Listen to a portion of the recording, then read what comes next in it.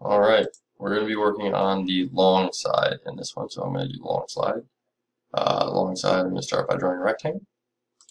So that is the simplest way to go about this. So I'm going to go create a new 2D sketch. I'm going to go start 2D sketch. I can draw it right on the XY plane.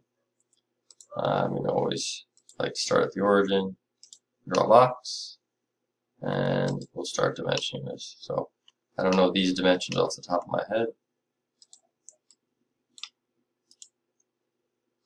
Uh, Alright, so let's see what we got. Okay, so we have 4 and a quarter and 11 sixteenths. Easy enough. Dimension, 4.25. It's to pop up a little, center it. And what was that? 11 sixteenths. 11 sixteenths. Okie dokie. Alright, and I know I've got two boxes I want to keep. I'm to throw two boxes I want to keep in here. Uh, so those are keepers. And I'm actually going to go about this kind of a funny way uh, in a second.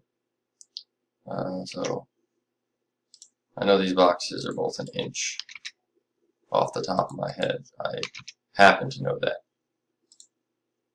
So if I know those are an inch, and I know it's 7 sixteenths from both sides, I can skip a lot of work. So this is actually a little expedited for some of you.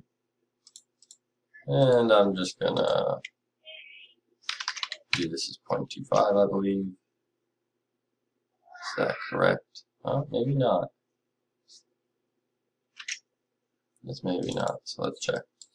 11 sixteenths minus 0.5. Okay, so it was a little different. Um, since we got 11 sixteenths minus half inch. Okay, so I have both of those in there. They're ready to go. Uh, all I need to do is some creative trim work. So I actually want to get rid of some stuff. So to do this, I have to separate. Uh, and hopefully this will take care of everything I want to do. So we'll see. So adding that line hopefully will take care of it. So I'm going to go to extrude. I want to pick up here, good. Like here, good, and here and then I am just extruding at 2.25. And I'm going to click OK. And that looks pretty good. You can add some color.